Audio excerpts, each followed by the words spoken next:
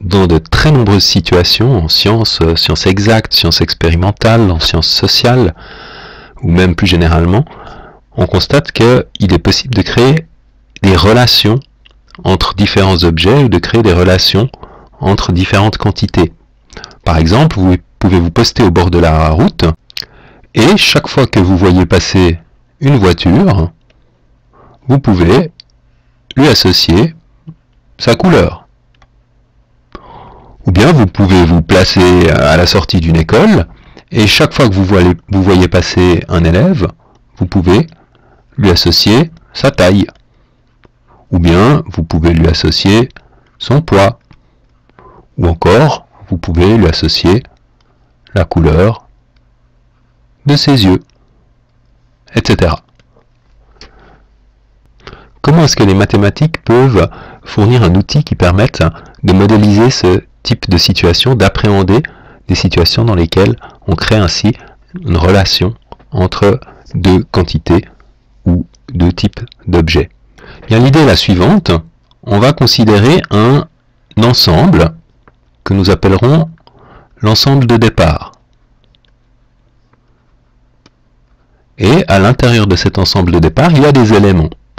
Si je reprends par exemple tout à l'heure lorsque je parlais d'élèves, ici, eh bien, je peux avoir ici l'élève numéro 1, l'élève numéro 2, l'élève numéro 3, etc. Ils peuvent s'appeler aussi Jean-Pierre ou Paul, ça n'a pas d'importance. Donc je considère un ensemble dans lequel il y a un certain nombre d'éléments. Et puisque à chaque élève j'associe une taille, j'appelle l'ensemble des élèves l'ensemble de départ. Maintenant, à chaque élève, je veux associer une taille. Je vais donc considérer également un ensemble d'arrivée.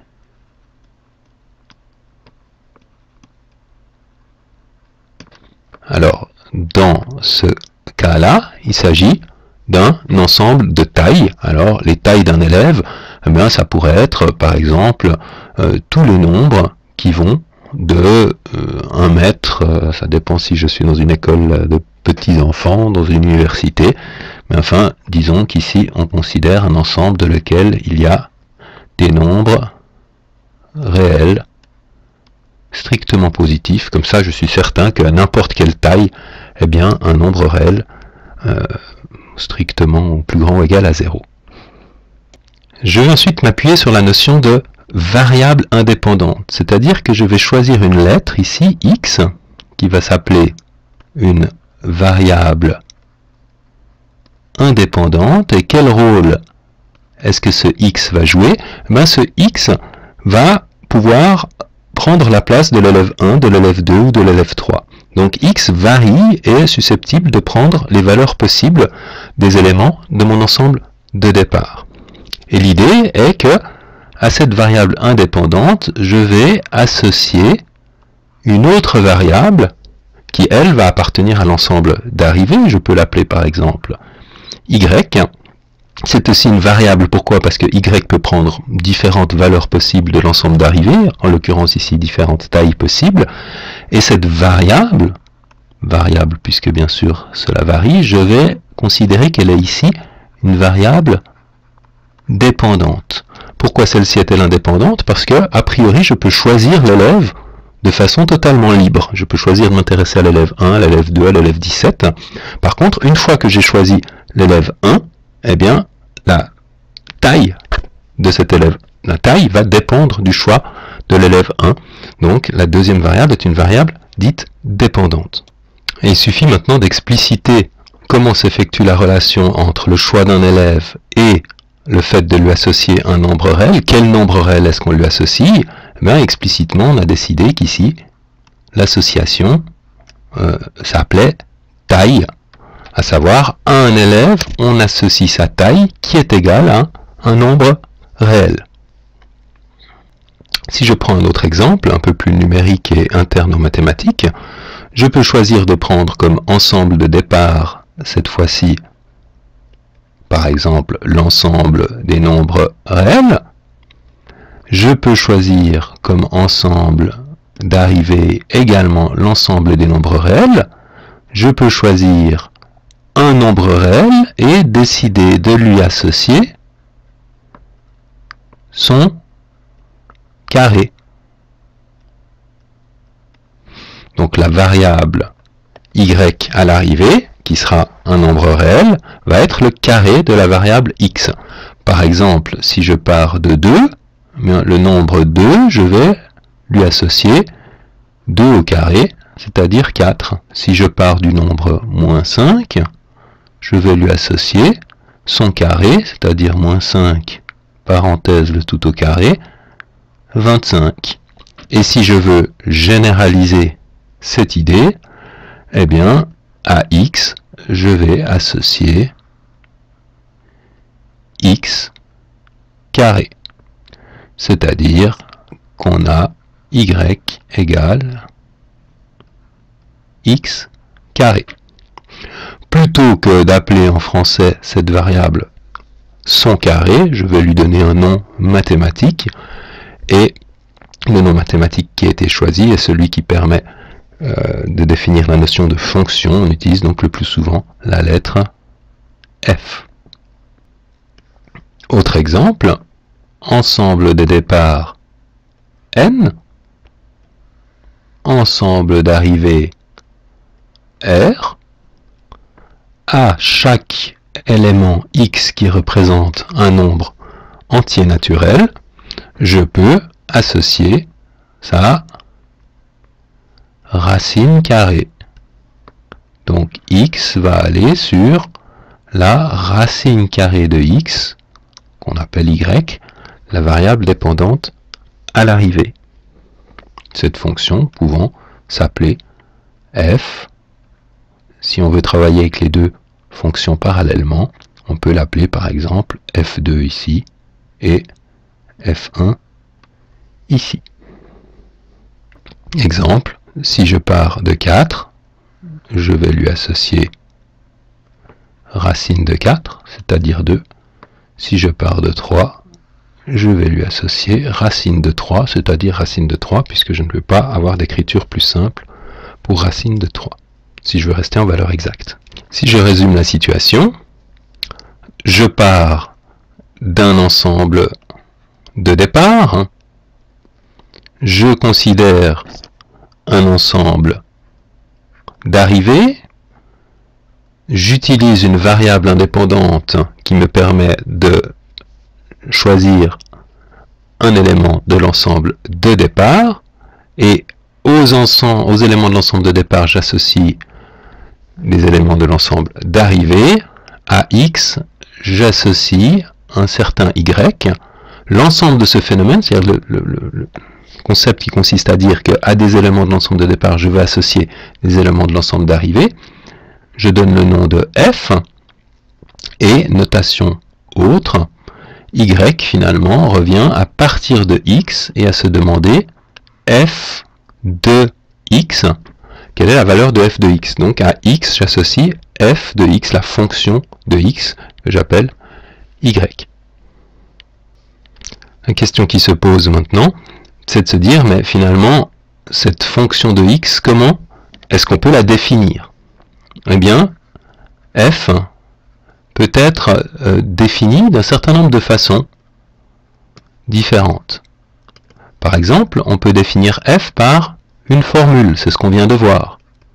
C'est-à-dire, on peut dire que f à x, on va lui associer la racine carrée de x. Ceci se note aussi.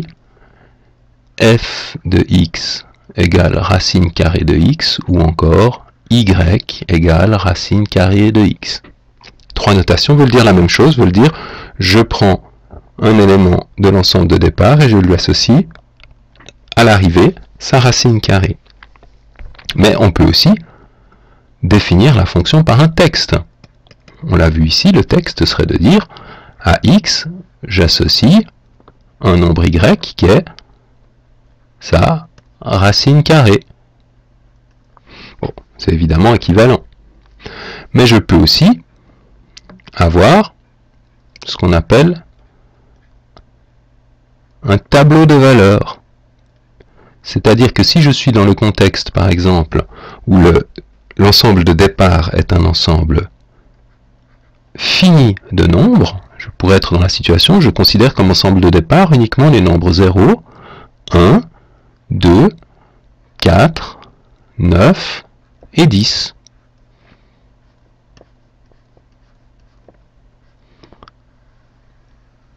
Et alors, dans l'ensemble d'arrivée, la fonction f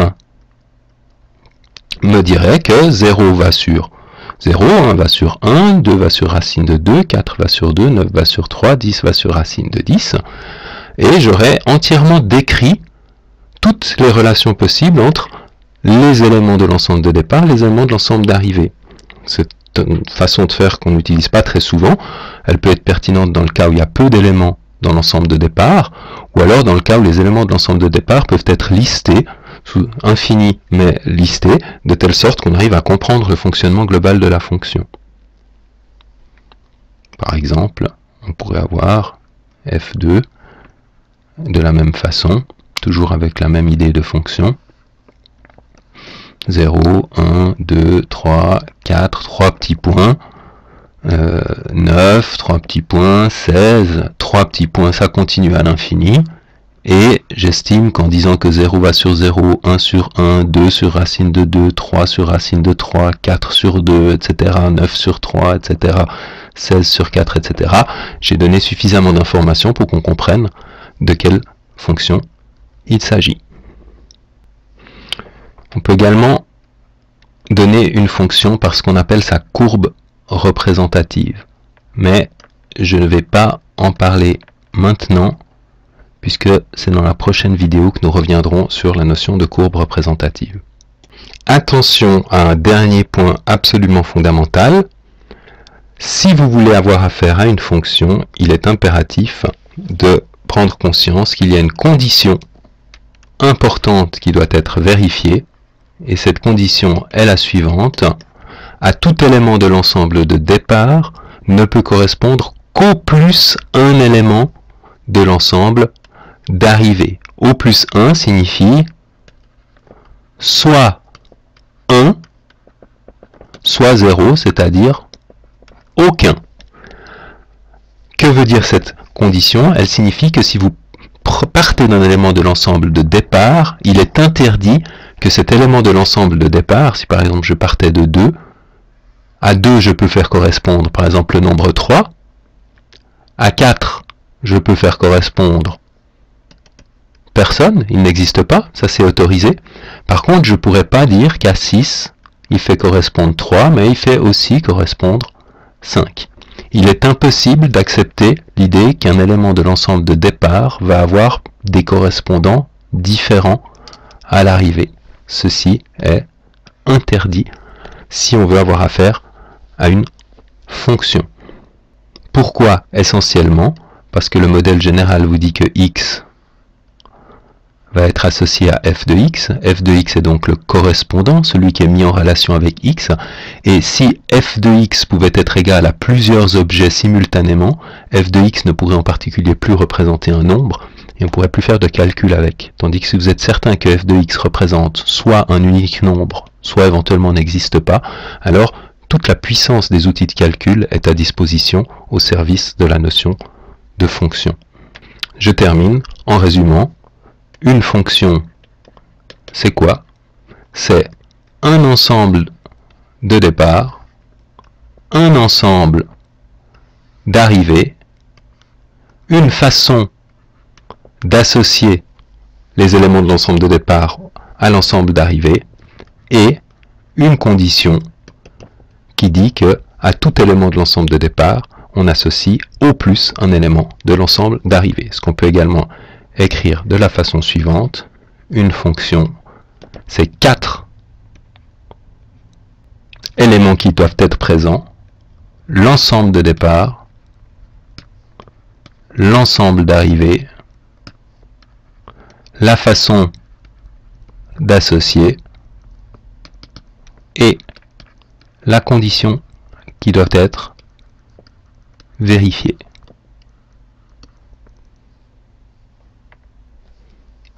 Dernier exemple, f départ R dans arrivée R qui a un élément réel associe 3 fois cet élément moins 1. Voilà une fonction. Ou bien G qui va de Z dans Z et qui a un entier relatif associe le cube de cet entier relatif, etc.